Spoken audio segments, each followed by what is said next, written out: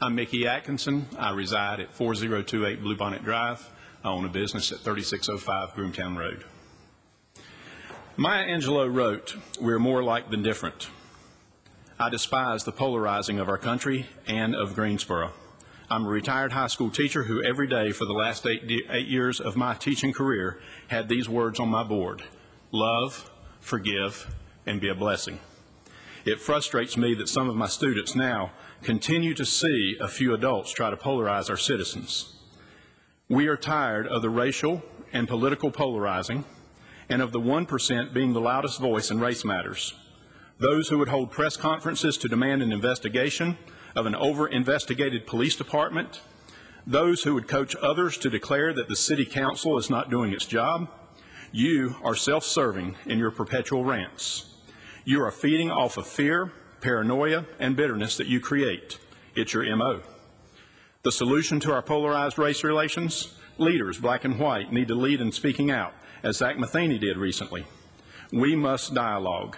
People of all races need to drop this paranoia.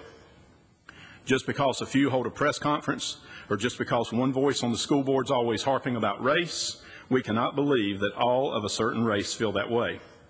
Likewise, just because some anonymous beeps in the rhino may say white supremacist things, quit believing that the vast majority of white people feel that way. Well over 99% of us want an end to this racial polarization. The enemy of the black community is not this city council. It's the absence of strong mentors in education. It's not the police department. It's the preaching of discord instead of the gospel in some churches. It's not the prison system.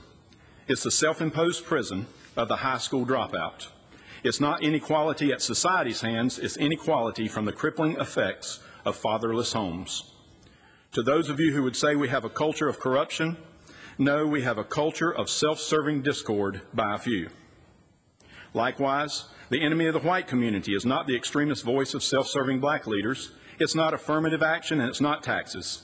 It's simply greed, greed of Wall Street and Main Street that's destroying our fabric of values. It's the paranoia fueled by false prophet white extremists. And it's that mentality that we are doing all the giving and they are doing all the taking. Let's quit listening to these divisive voices. Let's quit publicly vilifying a police department filled with modestly paid public servants who protect and serve us every day. Let's bury the race-related paranoia by recognizing that the outspoken 1% does not speak for the rest of a group, black or white. I do believe that 99% of us live in a city where we're not judged by our color, but by the content of our character. Let's all move forward.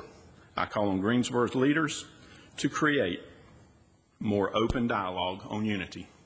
Love, forgive, and be a blessing.